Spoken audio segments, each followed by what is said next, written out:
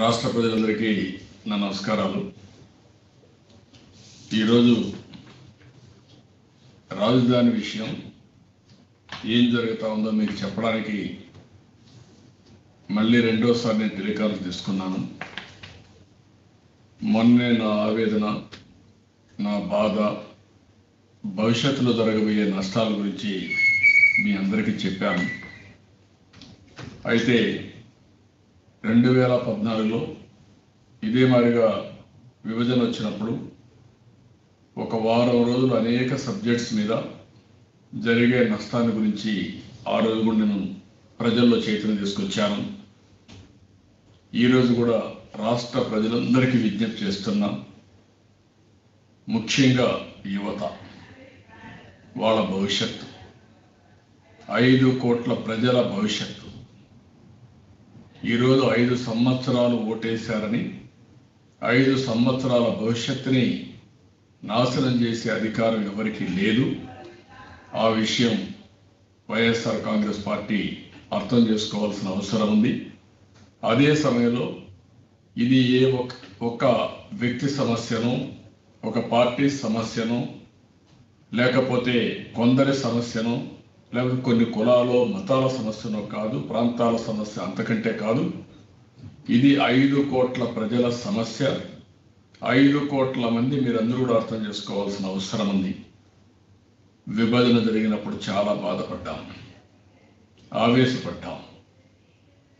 అందరూ కూడా మనం ఏమైపోతాం ఏం జరుగుతుంది మళ్ళీ మనం కోలుకోగలుగుతామనే బాధపడుతూ ఆ రోజు ప్రజల యొక్క మనో నిబ్బరాన్ని కూడా కోల్పోయే పరిస్థితి.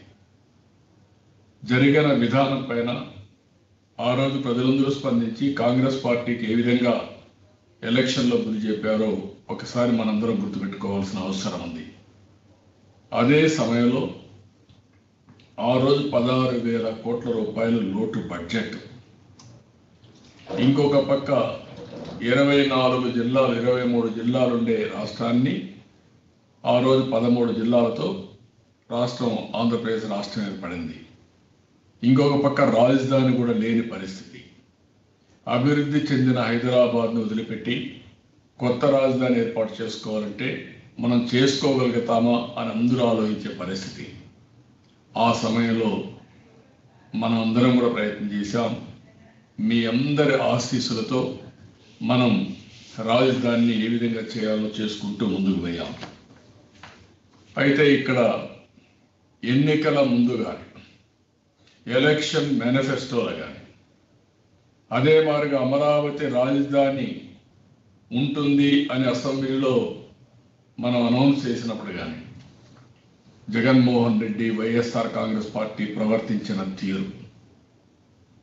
నేను ఒకటే చెప్తున్నాను. ఎన్నికల ముందు మీరేం చెప్పారు? ఎన్నికలు అయిన తర్వాత మీరేం చేశారు? ఎన్నికల ముందు మీరు చెప్పకుండా ప్రజల్ని మభ్యపెట్టే విధంగా మాట్లాడి ఎన్నికలు అయిన తర్వాత మా ఇష్ట ప్రకారం మూడు రాజధానులు చేస్తాం ఇష్టానుసారంగా ప్రవర్తిస్తామని ధోరణి మంచిది కాదు ఈ అధికారం మీకు లేదు. అందుకే నేను అడుగుతున్నాను మీరు చెప్పిన విషయాలన్నీ చెప్తాను.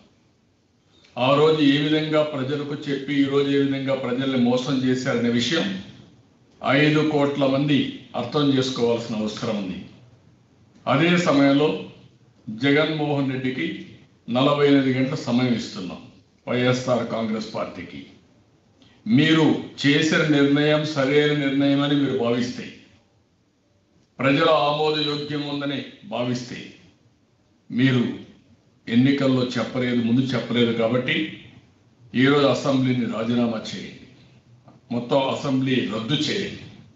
అసెంబ్లీ రద్దు చేసి ప్రజల దగ్గరికి వెళదాం. మీరు చెప్పండి. మళ్ళీ మిమ్మల్ని గెలిపిస్తే మేము మాట్లాడడం మానేస్తాం. అప్పుడు అమరావతి విషయమే తేము. మీరు అమరావతి విషయంలో ఏం చేసినా ప్రజల ఆమోదం వచ్చిన తర్వాత మేము ఒప్పుకుంటాం. కానీ ప్రజలకు చెప్పకుండా చేస్తే మాత్రం అది ద్రోహం అవుతుంది నమ్మక ద్రోహం అవుతుంది ఆ విషయం కూడా మీరు గుర్తుపెట్టుకోవాల్సిన అవసరం ఉంది. నమ్మించి మోసం చేసినట్టు అవుతుంది. ఆ రోజు మీరు ఎప్పుడు చెప్తా ఉంటారు? మీరు ఒకసారి చూస్తే నేను చెప్పిన మాటకు నిలబడతాం అని చెప్పే మీరు ఒక్కసారి మీరు చూస్తే సెప్టెంబర్ నాలుగున రెండు వేల పద్నాలుగు ప్రతిపక్ష నాయకుడు హోదాను అసెంబ్లీలో అమరావతి పెట్టినప్పుడు అధ్యక్ష విజయవాడలో క్యాపిటల్ సిటీ పెట్టడం గురించి మేము మనస్ఫూర్తిగా ఆహ్వానిస్తున్నాం. కారణం ఏమిటి మేమంటే మన రాష్ట్రం ఇప్పటికే పదమూడు జిల్లాల చిన్న రాష్ట్రం అయిపోయింది. పదమూడు జిల్లాల ఈ చిన్న రాష్ట్రంలో ఒక ప్రాంతానికి ఒక ప్రాంతానికి మధ్య చిచ్చు పెట్టడం ఇష్టం లేక మనస్ఫూర్తిగా ఆహ్వానిస్తున్నాం. అధ్యక్ష మొట్టమొదటి నుంచి కూడా చెబుతున్నది ఒకటే. క్యాపిటల్ సిటీని మీరు ఎక్కడన్నా పెట్టుకోండి. కానీ అలా పెట్టే చోట కనీసం ముప్పై వేల ఎకరాలైనా ఉండాలని మేము మొదటి నుంచి చెప్తున్నాం. నేను అడుగుతున్నా. ఆ రోజు చిన్న రాష్ట్రం అయిపోయింది. ప్రాంతాల మధ్య లేకపోతే కులాల మధ్య చిచ్చుపేయడం నాకు ఇష్టం లేదని మీరు చెప్పారు. ఈరోజు ఏమొచ్చిందని అడుగుతున్నాను ఇది ప్రాంతాల మధ్య చిచ్చు అవునా కాదా మీరే చెప్పాల్సిన బాధ్యత మీకుందని అడుగుతున్నా. అప్పుడు చిన్న రాష్ట్రం అన్నారు. ఇప్పుడు పెద్ద రాష్ట్రం అయిపోయిందా? దీనికి సమాధానం చెప్పండి. అందుకనే ఆ రోజు నేను ఒకటే అడిగాడు మీరు ఆ మాట చెప్పారు. మీ తర్వాత మీ పార్టీ నాయకులు పదే పదే చెప్పారు. ఉమారెడ్డి వెంకటేశ్వర్ గుంటూరు జిల్లా వాసి ఎన్నికల మేనిఫెస్టో కమిటీ చైర్మన్. ఆయన చెప్పిన విషయం చూస్తే ఎట్టి పరిస్థితులు అమరావతిలో ఉన్నటువంటి క్యాపిటల్ ఇక్కడే ఉంటుంది. దానిలో లేనిపోయినటువంటి ప్రచారాలు పెట్టి వీళ్ళు రాజకీయ లబ్ధి పొందాలని కొందరు చూస్తున్నారు. ఆంధ్రప్రదేశ్కి అమరావతి హెడ్ క్వార్టర్స్ రాజధాని. దట్ విల్ కంటిన్యూ ఇక్కడే ఉంటుంది. దీనినే ఒక మంచి సిటీ స్థాయికి తీసుకురావడం జరుగుతుంది. అన్ని వస్తువులు ఇక్కడే ఉండేలా ఉంటాయి. దానిని కూడా మేము ఎన్నికల మేనిఫెస్టో తప్పకుండా పెడతామని మీ ఎన్నికల కమిటీ మేనిఫెస్టో చైర్మన్ చాలా స్పష్టంగా చెప్పాడు. అదే మరిగా వసంత కృష్ణప్రసాద్ ఎమ్మెల్యే ఇప్పుడు మైలవరం. రాజధాని ఇక్కడే ఉంటుంది.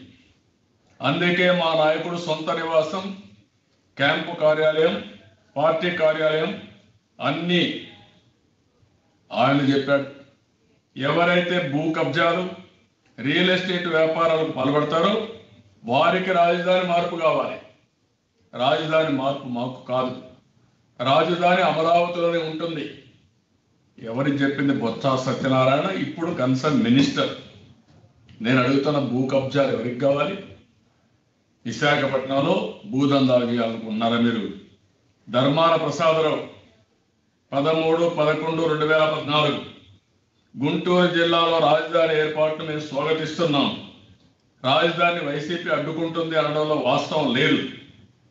అప్పుడు స్వాగతించారు. ఇప్పుడు వ్యతిరేకిస్తారు. కారణం చెప్పాలి? ఆళ్ళ రామకృష్ణారెడ్డి పదిహేడు నాలుగు రెండు వేల పద్దెనిమిది. రాజధాని మారుస్తారని కొందరు అపోహపడుతున్నారు. రైతులు దీన్ని నమ్మవద్దు. అక్కడ ఎమ్మెల్యే సమాధానం చెప్పండి. పెద్దిరెడ్డి రామచంద్రారెడ్డి పదహారు పన్నెండు రెండు వేల పద్దెనిమిది వైసీపీ అధికారంలోకి వస్తే అమరావతి రాజధాని మరో ప్రాంతానికి తరలించడం తరలించాం. అక్కడే పూర్తి స్థాయిలో అభివృద్ధి చేస్తాం. ఈయన మాట్లాడాడు. ఆర్కే రోజా నగిరి ఎమ్మెల్యే రాజధాని కట్టగల సమర్థుడు జగన్మోహన్ రెడ్డి కాబట్టే అమరావతిలో ఇల్లు కట్టుకున్నారు. కోలగట్ల వీరభద్రస్వామి విజయనగరం ఒకటి రెండు రెండు వేల పంతొమ్మిది. వైసీపీ అధికారం చేపట్టిన వెంటనే జగన్మోహన్ రెడ్డి నాయకత్వంలో అమరావతిలో శాశ్వత రాజధాని నిర్మాణం చేపడతాం. ఇది మీరు ఆ రోజు చెప్పింది.